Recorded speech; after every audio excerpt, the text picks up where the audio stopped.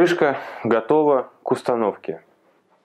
Теперь просто мы ее устанавливаем, утапливаем ее внутрь подлокотника.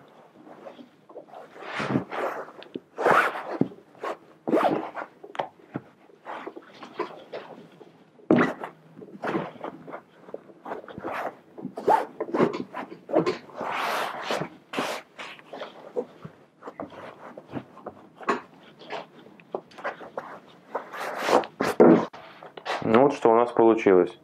Теперь нам нужно ее закрепить, чтобы она не вывалилась.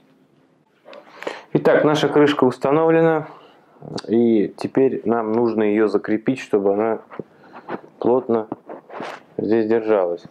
Значит, я использую для этого вот такие маленькие саморезики.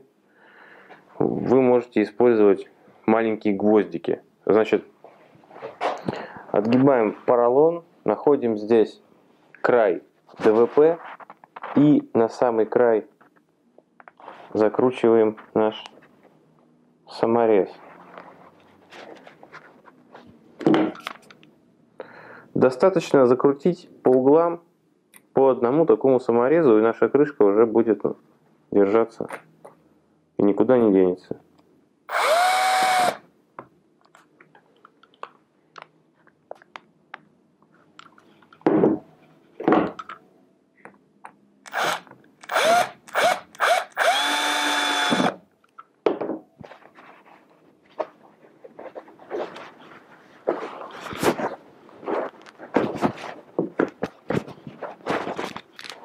Мы сделали и установили первую крышку.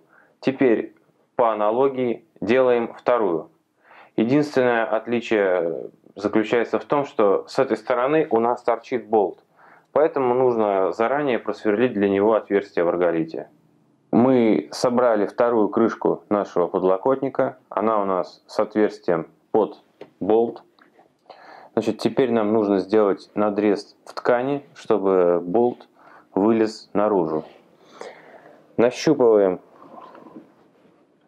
наш болт, берем острый ножик и делаем аккуратный надрез. Дальше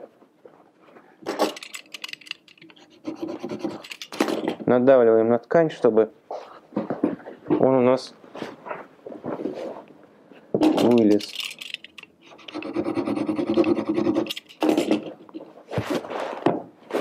Вот так вот должно получиться у вас. Наши подлокотники готовы.